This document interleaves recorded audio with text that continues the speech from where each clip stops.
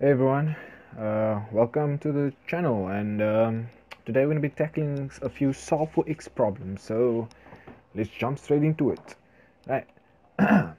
Uh, so this was taken from the 2016 uh, math paper 1 so right first question x into x minus 7 equals 0 so the first thing that I normally look at is mark allocation. So straight off yo two marks easy two marks so um, if you want to go ahead and try to do it, uh, can do this for each question that we're going to do. We're going to be tackling um, about four questions, so I don't want to waste too long on each question.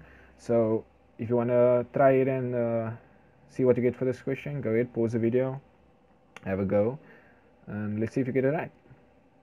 Uh, right, if I think that should have been enough time. So, all right, let's see. We're gonna we have x into x minus seven, right? So if you're thinking of multiplying this in, you are going down the wrong track, right? So what you should be doing, you should be seeing that uh, you have x multiplied by another number, in this case x minus 7.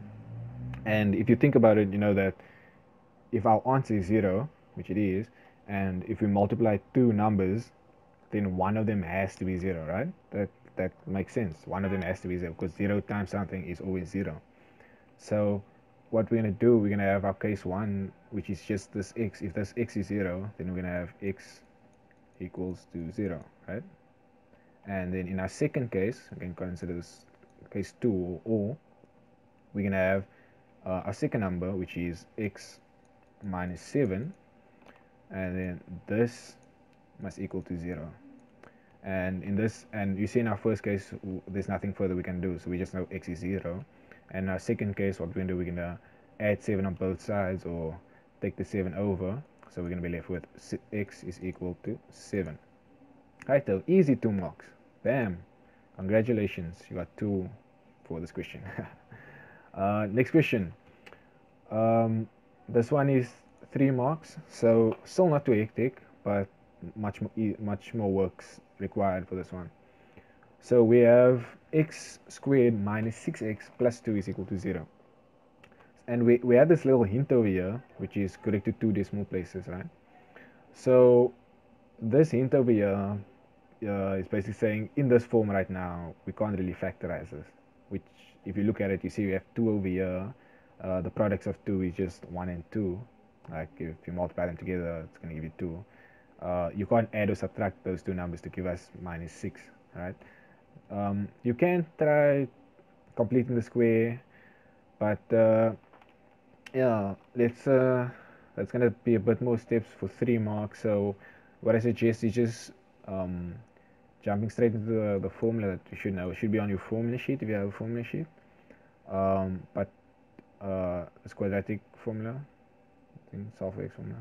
Yeah. Anyway the formula which uh, you probably have memorized but I know teachers can be brutal at some time. It's just minus b plus minus uh, b squared minus 4ac right? That's all square root all over 2a right? Uh, and we know that our a value in this case is 1 just from looking at it. Uh, b is minus 6 c is 2 so what we're going to do we're going to drop all of those into our equation. So we're going to have uh, minus minus 6 is going to give us uh, positive 6 so we can just write that as 6 plus minus the square root um, b squared. So it's going to become minus 6 times minus 6 which is going to give us 36 uh, minus 4 a remember is 1 c is 2 let's see can't even write it 2 uh, 2 uh, get to write that square over there square root all over 2 a which in this case is 1 so you see this is all numbers over here so we're just going to pop that in our calculator.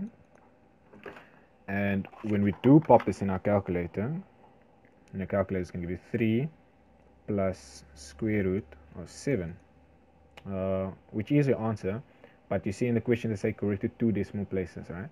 So you have to press S to D on the calculator, which is third to decimal, which we're going to get our answer. And remember, two decimal places. So we're going to get 5.65, right? So, and this is for our positive, right? I'm just going to label it here to show you. Yeah, I don't think you should do that in the exam, but that's just for me to show you that that's the, when the sign is positive. And then in our second case, we have it as x, let's call that x negative. Uh, if we replace our positive with a negative, we are going to get 3 minus square root 7 and if we press S to D we're going to get 0 0.35 right? And that should do it. If you want to check your answer uh, pop these back into there. Um, don't don't type in 5.65 because remember this is a rounded off value and what you want to do you want to type in the full the full answer and then that will give you zero. If you do not get zero uh, you probably just substituted wrong or maybe you just forgot the square or minus or something. So just uh, try it again. Righto moving on. Um, this is the probably the longest one we're going to be doing today. Uh, this is square root of x minus 1 plus 1 equals to x so this is five marks. That, that's that's quite a bit of marks. So if you can see something like this don't panic. It's it's not that hard. It just it requires a few steps to do. So once again as i say pause the video have a go um, to get it right. Great stuff. If you get it wrong it's fine. You're practicing. And yeah next time you'll get it right. In the exam you'll get it right. Right. So right welcome back i guess if you pause if you didn't pause that's kind of weird but it's fine so we have this area so what we're going to do um, we want to get rid of the square root, right? Because we don't we don't want to work with square roots. So to get uh, rid of the square root, we're going to square both sides. But we can't just square both sides because if you're going to square both sides, you're going to get a weird term in the middle that's still going to contain a square root, and that's just going to make problems even harder for us. So what we're going to do is we're going to uh, minus 1 on both sides. We're going to move this 1 so we can get the square root by itself, right? So we get square root of x minus 1 is equal to x minus 1. Right. So notice that we have the same thing over here. And I know a lot of people like using uh, something called the K method, which I, I do I feel like the K method, but uh, it can get a bit hard at times. So I'm just going to do it quickly on the side here if you, um, you want. So I, I said, okay, let, uh, let K, let's see, my one, K equal to X minus 1 right? And then if we substitute this in we're to get square root of k equals to k right? We're just uh, replacing that. And then we can then square both sides. So we left with k because that uh, square cancels that. So we left with k equals k squared what we do we take this k over so we left with 0 equals to k squared minus k. Uh, we take out a common factor of k uh, which equals to k into k minus 1 uh, and from here we can uh, this is the same as our first problem remember over here. The same thing over there but instead of a 1 a 7 we have a 1 instead of a x we have a k. So from here we can either write them out separately in your two cases or you can pop the, the our original thing back in. Uh, I'm gonna do it that way so I'm gonna have 0 equals to x minus 1 and then again that's what this k is that's x minus 1 is from that k. And this k here we have x minus 1 and then our, our 1 from there. Right so let's not uh, get too complicated. And now we break it up so we're gonna have x minus 1 equals to 0 uh, we can just finish this one. We can move uh, x over or add x, add 1 on both sides. So we left with x equals to 1 uh, in our second case we have minus 1 minus 1 which is minus 2 equals to 0 and then we take the 2 over. So we left with x equals to 2 right. This is one way of doing it. This is using the k method. Um, uh, it makes things a bit easier by substituting and then you know it becomes less work and stuff which is nice. But remember you're gonna have to put it back in so that will give you five marks if you if you do it that way. Another way that people like doing um, would be from this step just to uh, square both sides from here which is doing this step right here without the k. So we're gonna uh, we just square this um, both sides I'm gonna do it this way as well. So this becomes squared equals to x minus 1 and we're going to square that as well. Oopsie. And if we square this this uh, square root cancels. So we're left with x minus 1 equals 2 uh, this is just going to be expanding and then multiplying it out or you can just write it in. It becomes x multiplied to itself which is x squared. Uh, the middle term you can obtain by x multiplied by 1 minus 1 multiplied by 2 which is going to give us minus 2x and then minus 1 multiplied by itself which is going to give us plus 1 right and then what we're going to do we're going to move the x and the minus 1 over. So you can get a nice 0 on the side. We like having zeros. And we add like terms. There's no other um, x squared. So you know that stays there. We have minus, uh, 2x and then this x comes over it becomes negative as well. So that becomes negative 3x I was just simply adding. Uh, this minus 1 comes over it becomes plus 1 1 plus 1 2 it's like the first question they ask you ever. It's 1 plus 1 and then over here you're just going to be factorizing a bit. So that's 0 uh, easy factorizing. Uh, this becomes x x. We see this term over here is 2 um, what numbers multiplied by each other gives us 2 1 and 2 and notice if we uh, so we can just write that in because that's the only numbers really. So 2 and 1 2 and 1 and then uh, notice we have a plus sign here and a negative sign here, negative sign. So uh, we have 2 1 and notice we should add them together because 2 plus 1 is 3 and this sign here is negative.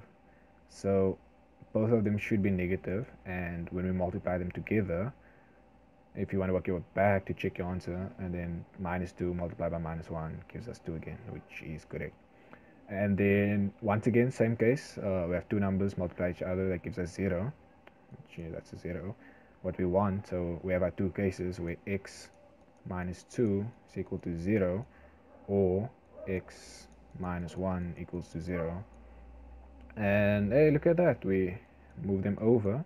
So x equals to 2 or x equals to 1 which is exactly the same answer we get for when we uh, use the k method or just normal working with a bit more terms and stuff righto that that will give you five marks in the exam you could choose any method um, yeah I, I yeah, the methods. K method is kind of nice. Look at this, uh, less terms needed. Uh, pretty much the same number of steps really, because you just um, adding what you took out again. Anyway, right on. Uh, last question for the day is this one over here. Uh, x 3 to the power of x plus 3 minus 3 to the power of x plus 2 equals to 486. So little reminder be sure to um, pause the video uh, and give it a go. Uh, be sure to practice. Right so uh, hopefully you got it right. Uh, if you didn't it's fine. Get it right in the exam quote me on that. Right so um, the, this is a problem where we have our x that we're trying to solve uh, in our exponent now. It's not it's not in our base like in our previous examples we had um, x uh, x to the squared you know x, x to the squared x squared. Um, so this is going to be a bit different but it's four marks so nice easy four marks. So the first thing we want to deal with is this 486 number uh, it's, not really you know nice looking compared to other numbers like 3 to the x plus 3 that looks that looks pretty nice. But this 486 uh, okay. So we're going to type that in our calculator. Press equal then we're going to shift fact on your Casio. If you have a Casio you should actually have a Casio. It's like a requirement. And if you um, type that in and then press shift and fact you're gonna your calculator is going to give you 2 multiplied by 3 to the power of 5 which is really good because we are working with numbers that are, have base 3 and since we have that base 3 it's really good. Uh, and then on our left side, um, what we should be doing is we're going to be taking out a common factor.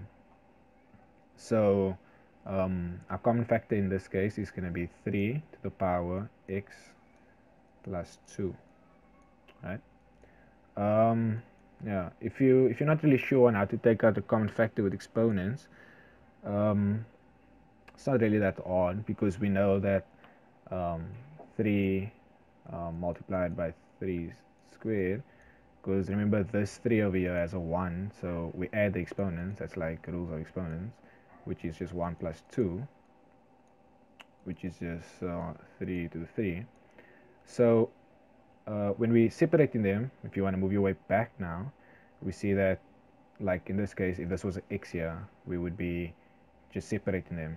As 3 to the 1 times 3 to the 2 I hope that helped. Sound a bit weird. So what we're going to be left with is just 3 right? Because if we multiply this back together see we have 3 to the x plus 2 multiplied by 3 that 3 is to the 1 so we're left with 3 to the x plus 2 plus 1 which is what we started with which is good. So that is what we started with. So we left with 3 um, this is the same term over here so we're just going to be left with minus 1 and then 3 minus 1 is 2 which is great because then that's going to cancel with that 2 so we left with 3 x plus 2 times 2 is equal to 2 multiplied by 3 to the 5 and then we divide both sides by 2 get rid of these 2's so that one cancels with that one that one cancels with that one and we are left with 3 to the x plus 2 is equal to 3 to the 5 right?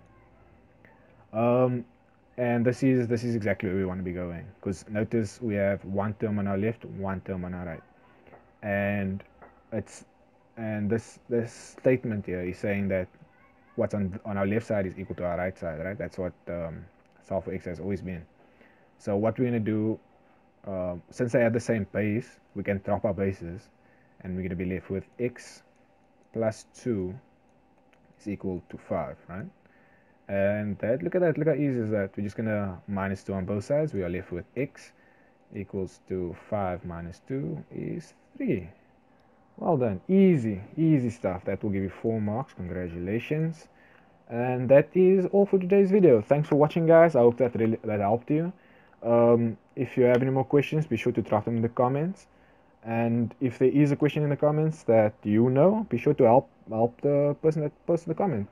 Um, once again, thanks for watching. I'll see you in the next one. Bye.